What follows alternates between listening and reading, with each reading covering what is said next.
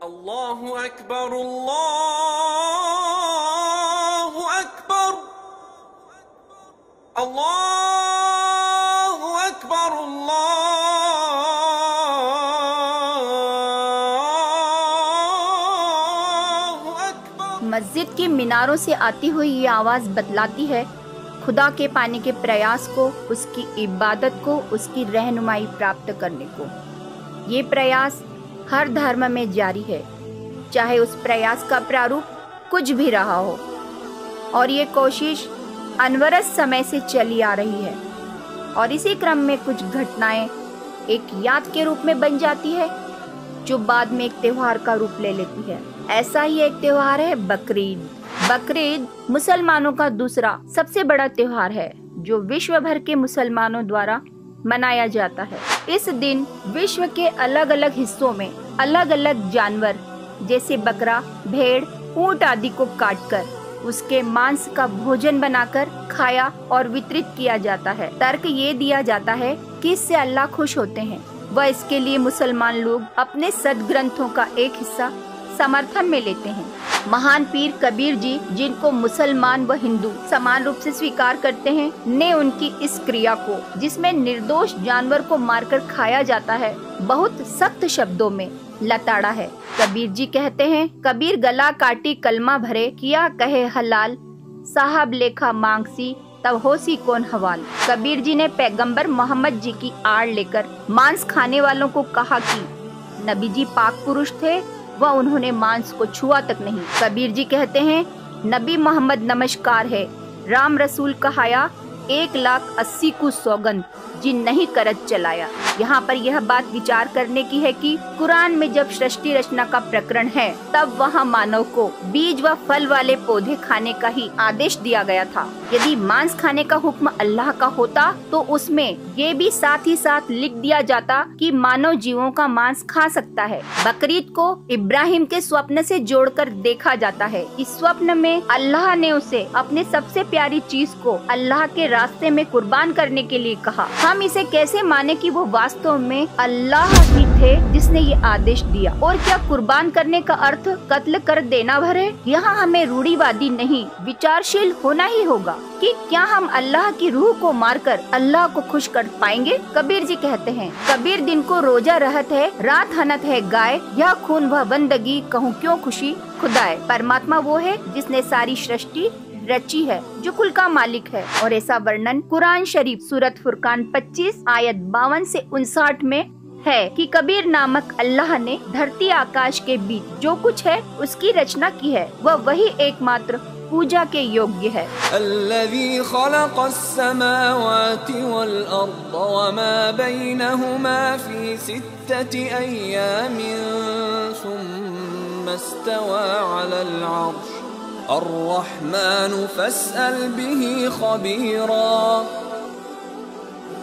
हमें केवल उसका ही आदेश मान्य है और उसने हमें बीजदार पौधे व फल आदि ही खाने का आदेश दिया है। किसी मुस्लिम ग्रंथ में यदि कहीं ऐसा वर्णन है कि मांस खा सकते हैं तो वो आदेश सृष्टि रचने वाले अल्लाह का नहीं, वरन किसी और फरिश्ते का है जो हमें मान्य नहीं। क्योंकि अल्लाह सर्वोपरि है और उसी का आदेश सर्वोपरि है। कुछ मुस्लिम वक्ता मांस खाने की वकालत करते हुए कहते हैं कि पेड़ पौधों में भी जान है तो उन्हें क्यों खाते हो? यदि हम पेड़ पौधे फल आदि खा सकते हैं तो बकरा गाय भी खा सकते हैं। यहाँ मुस्लिम समाज को सोचना होगा कि पेड़ पौधे आदि खाने का आदेश अल्लाह ने दिया है और उस खुदा ने ये आदेश क्यों दिया? इस पर तर्क वितर्क करना, उस खुदा के आदेश पर प्रश्न चिन्ह लगाना है, जो एक सच्चे भगत को नहीं करना चाहिए। दरअसल बहुत सी ऐसी शक्तियाँ हैं जो हमें प्रभावित करती हैं। जो हमें स्वप्न में दिख सकती है, लेकिन इसका मतलब ये कतई नहीं है कि जो शक्ति स्वप्न में दिखे, वो अल्लाह ही होता है। तो फिर अल्लाह की क्या पहचान है? वो कैसे दिखता है? कहाँ रहता है? इन जटिल प्रश्नों का समाधान भी पवित्र कुरान शरीफ में है, जिसमें कहा गया है कि वो कबीर नामक अल्लाह ही है, जिसने धरती और आसमान के बीच जो कुछ है सब कुछ रचा है, वही इबादत के योग्य है। जब तक हम खुदा को जानेंगे ही नहीं, तब तक हमारे द्वारा की जाने वाली सभी इबादत व्यर्थ ही होगी। इस आधार से हम अपनी क्रियाओं को जाँच सकते हैं कि अन्य धर्मों की भांति, मुस्लिम धर्म में भी अंधश्रद्धा व पाखंड चरम पर है। इसी कारण कुरान शरीफ सुरतल फुरकान 25 आयत उनसाठ में कहा है कि उस कबीर अल्लाह की जानकारी किसी बाखबर से पूछो। मतलब कि कुरान शरीफ अपने से आगे का ज्ञान किसी बाखबर से पूछने को निर्देशित करती है। स्पष्ट है कि हमें बाखबर की ज़रूरत है। वही हमें अल्लाह के बारे में ठीक से बता सकता है, इबादत की सही विधि बतला सकता है। जिस तरह पवित्र कुरान में किसी बाखबर का वर्णन है, उसी तरह हिंदुओं की पवित्र पुस्तक, गीता व वेद में भी किसी तत्वदर्शी संत की शरण में जाने का वर्णन है। दरअसल दोनों धर्मों में कोई टकराव और मतभेद नहीं है। दोनों पवित्र धर्मों के सदग्रंथ हमें एक बिंदु पर लाकर छोड़ देते हैं कि बाखबर तत्वदर्शी संत की शरण में जाओ। बाखबर वो है जो खबर रखता है हर धर्म के मूल सदग्रंथों की।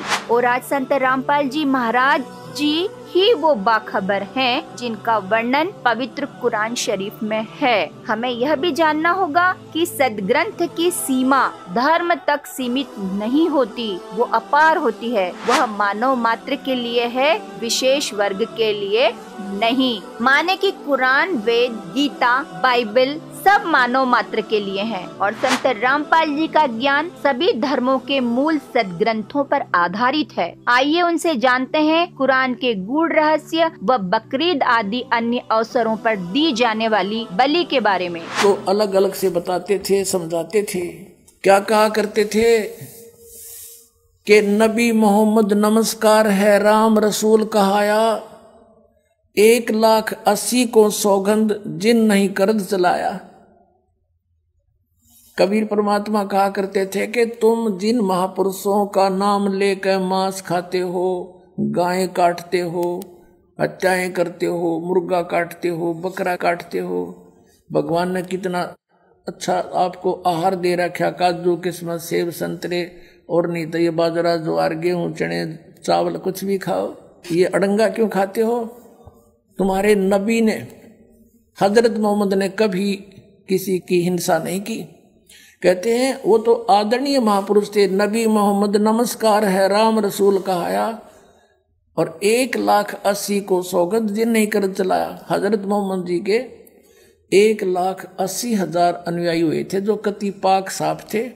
वो ब्याज तक भी नहीं लेते थे, जिहाद संघर्ष नहीं करते थे, किसी का कत्ल करना भी महापाप मानते थे।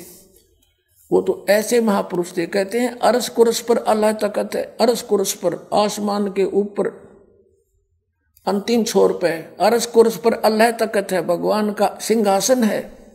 और खालक बिन नहीं खाली, और वह पैगंबर पाक पुरुष थे साहेब के अबदाली।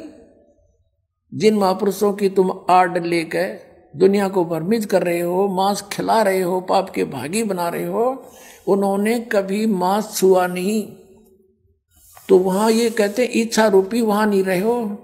उल्ट मोहम्मद महल पठाया, इस शरीर में वापस भेज दिया। और गुज बीरज एक कलमा लाया। कहते हैं, उसने रोजा बंग नमाज़ दे रे, बिस्मल की नहीं बात कही रे। बताओ, उन्होंने वो ऊपर से जो आदेश लेकर आया था हज़रत मोहम्मद, उसमें बिस्मल, यानी गाय को काटना, मुर्गे को काटना, बकरे को काटना, इसको बिस्मल बोलते हैं ये। कहते हैं, रोजा बंग और नमाज़ बताई थी उसने।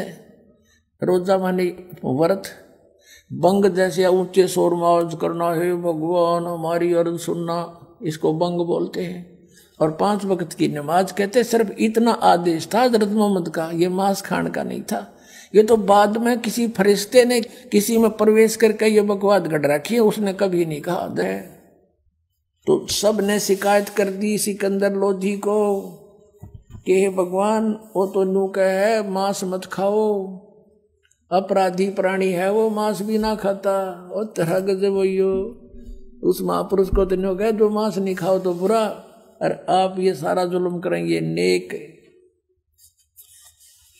और भगवान नो कहे, मैं अपने आप को कहता, मैं भगवान हूँ, अल्लाह हूँ, खुदा हूँ। उस सिकंदर लोधी ने कहा भी क्या चाहते हो फिर तुम? कि भगवान, एक गऊ बिस्मल करेंगे उसके सामने। यदि वो गऊ को जीवित कर देगा तो हम मान लेंगे कि वो अल्लाह का रसूल है, क्योंकि हमारे हज़रत मोहम्मद जी ने भी गऊ को मार के जीवित कर दिया था।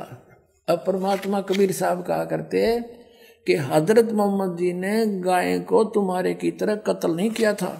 उन्होंने तो वचन से मारी थी गाय, शब्द से। और वचन से जीवित कर दी, मांस नहीं खाया, वह तो जीवित कर दी थी, तुम जीवित कर नहीं सकते और बेसमल करने लग गए। तेरा गजब ये। कहते हैं, मारी गऊ शब्द के तीरम, ऐसे होते मोहब्बत पीरम, और शब्द फेर जवाई, अनसा रख्या, और मांस नहीं बखा, ऐसे पीर मोहम्मद भाई कहते वो तीसरे महापुरुष थे, वचन से गा मारी थी, वचन से जीवित कर दी, उन्हें मांस नहीं खाया। और तुम रीस करते हो उस महापुरुष की, और करते हो विपरीत कार्य सारे।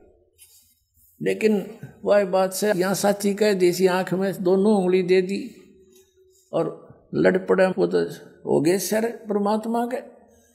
सिकंदर लोधी को शिकायत कर दी और कहा, भगवान, इस जालिम आदमी है, इनमें कह मांस भी ना खाता वो और मुसलमान कहे, अपने आप को उसकी तो ना मेरा उससे कि तो आदरणीय गरीबदास साहिब जी ने परमात्मा के साथ बीती हुई घटनाओं को तुलसीदास जी की तरह कैसे सुनाया है? काशी जोरा दीन का, ये काजी खिलस करनते।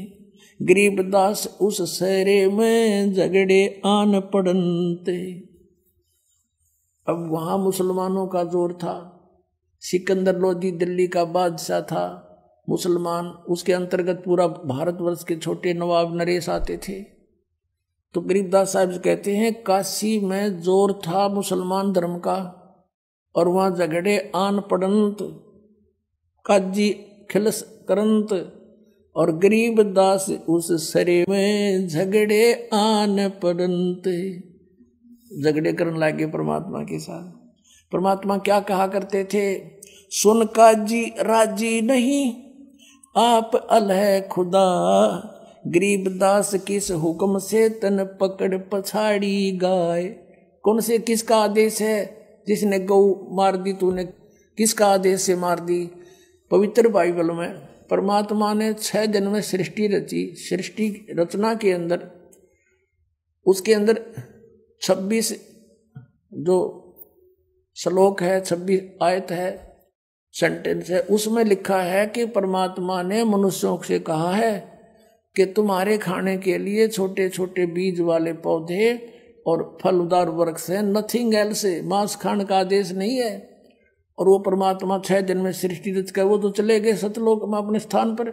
उसके बाद अगर बाइबल में किसी ने मांस खाने का प्रावधान किया भी है तो वो उस अल्लाह का आदेश नहीं, किसी अन्य फरिश्ते का है। तो परमात्मा के आदेश को तोड़ना और किसी अन्य अधिकारी के कहने थे पाप के भागी हो। तो यहाँ कहते हैं, तुमने किसके आदेश से गाय मार दी? हज़रत मोहम्मद जी ने तो कभी गाय नहीं मारी।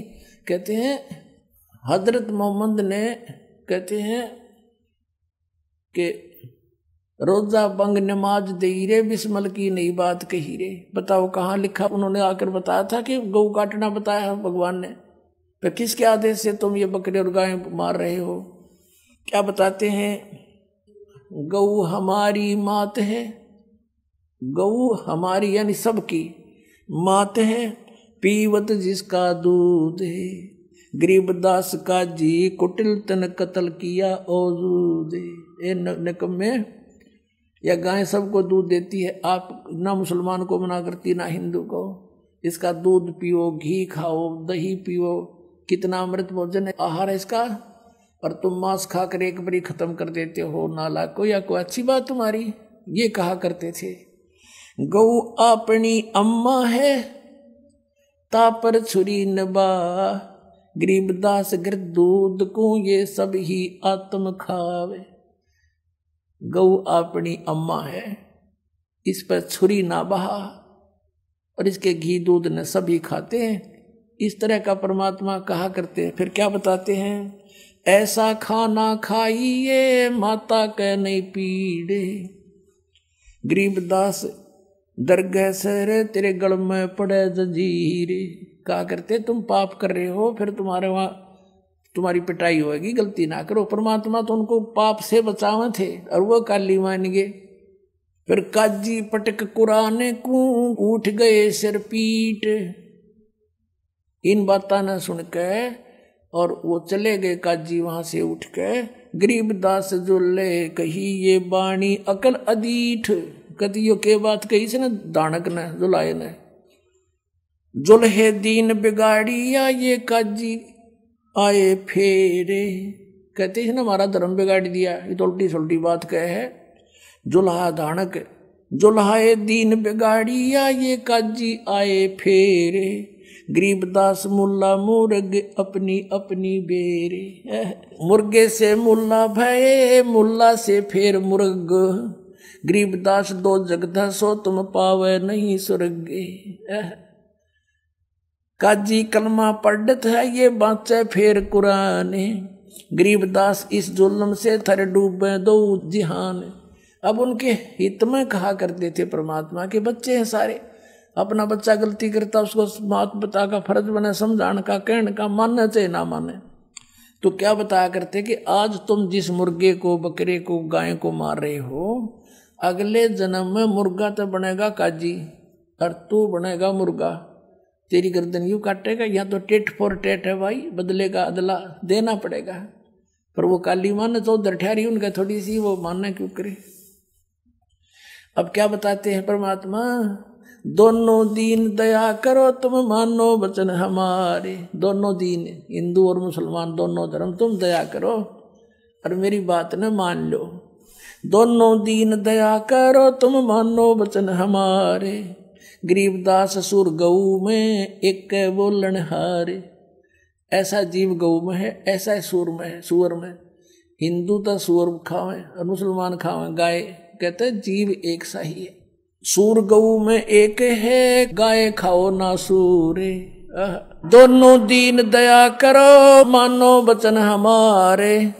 गरीबदास गौ सूर में एक बोलन हारे सूर गऊ में एक है गाय खाओ ना सूरी गरीबदास सूर गऊ का एक नूर फिर क्या बताते हैं मुल्ला से पंडित भय ये पंडित से भय मुल्ले गरीबदास तज बैर भाव तुम कर लो सुल्लम सुल्ले कितनी प्यारी बात कही है कि देखो, आज कोई ब्राह्मण है, पंडित है, और वो मुसलमानों को बुरा बता रहा है, आपस में लड़ा रहा है, और मुसलमान मुल्ला कहता है कि ये हिंदू बुरे हैं, वो हिंदुओं से विरोध कर रहा है। कहते हैं, आज क्योंकि हमारे पहले पिछले इतिहास देख लो, कोई अलग मज़हब धर्म नहीं थे। कलयुग में हम भिन्न भिन्न हो गए काल ने बना दिए आपस में लड़ाई रखने के लिए। तो परमात्मा कहते हैं कि जैसे आज कोई मुल्ला है अगले जन्म में वो पंडित के घर भी जन्म ले सकता है, हमारे संस्कार सब रेले मिले हैं।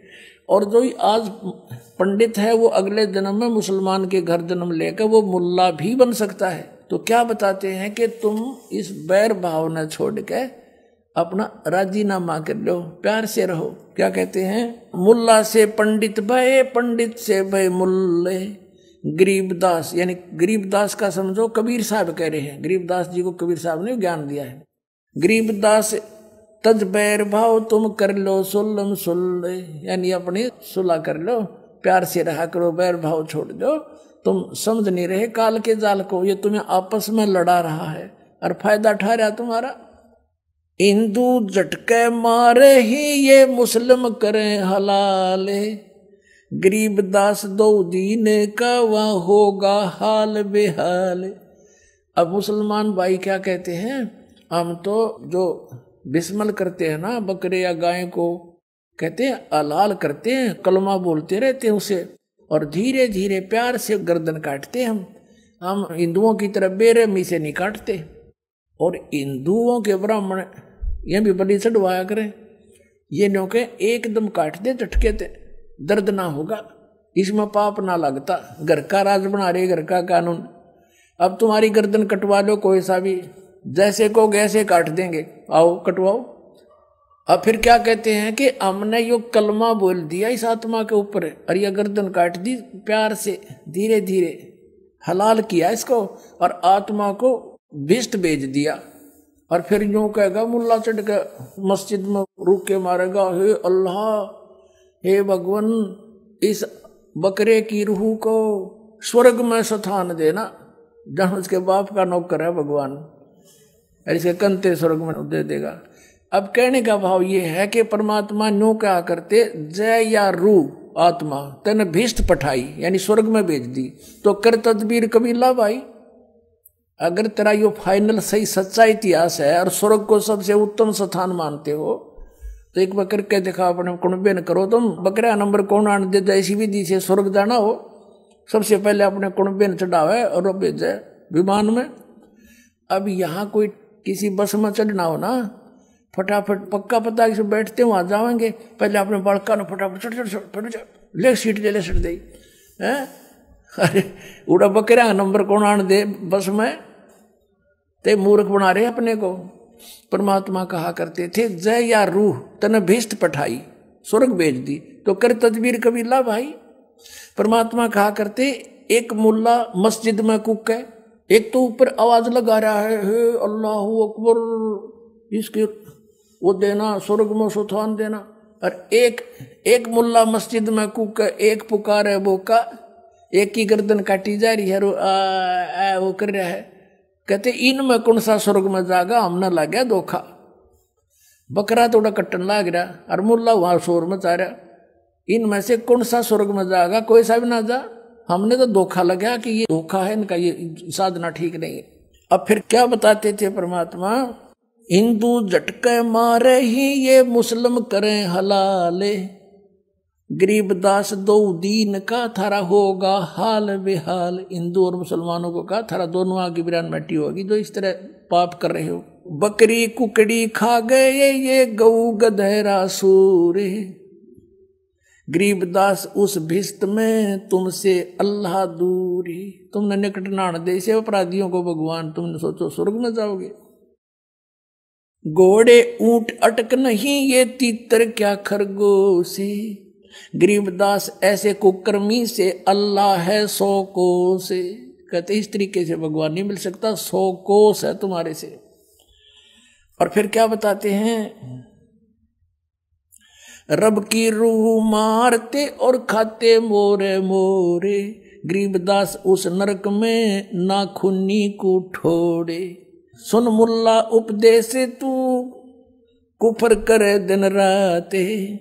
और गरीबदास हक बोलता और मारे जीव अनाथे। कहते, हम तो हक कर रहे हैं, हम न्याय कर रहे हैं, हलाल करके मारते हैं, कलमा बोलते हैं। कहते, ऐसे जुल्म कर रहा है और कह, मैं हक कर रहा हूँ, सही कर रहा हूँ। सुन का जी कलिया किया। अब क्या बताते हैं कि कैसा खाना खाओ? बासमती चावल पके और गर्त खांड टुक डारे। गरीब दास करो भक्ति, भाई, ये कूड़े काम नवारे। दिखाण का बता तरीका कि बासमती चावल पकाओ और थोड़ी सी बूरा और घी डाल के खाओ। दे किस आनंद आओगा गंद खान लग रही माँ से। कोई कुत्ता मरा पड़ा, वो एक्सीडेंट में देखा, उसका मांस बिखरा पड़ा, वो भी जो गलानी आवाज़ भी ने, और तुम इसने खाओ। और ये खाना है बासमती चावल पके, गरत यानी घी खांड टुकडार, और गरीब दास फिर करो भक्ति, या बूढ़े काम नवार, कूड़े काम छोड़ दो, बुरे काम छोड़ दो। कबीर साहब कहते हैं गरीबदास जी तो वैसे तुलसीदास जी की तरह उनकी कही हुई को दोबारा बोल रहे हैं। फिर आगे क्या बताते हैं? फुलके धोआ दाल कर अलुआ रोटी खा। और बढ़िया भोजन खाना चाहता है, एक दाल रोटी और अलवा पूरी खा ले। तेरा गणा जी करे है भाई अच्छे आहार खाने को। दो फुलके धोआ दाल कर। दोई हुई दाल जैसे मूंग की कहा ना दोई हुई दाल है। और फुलके, बढ़िया फुलके बना। फुलके धोआ दाल कर, तू हलवा रोटी खाए। गरीब गरीबदास काजी, सुन भाई, मांस मिट्टी ना खाए।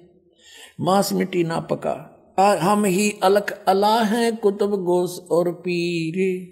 गरीबदास खालक धनी, मेरा नाम कबीर।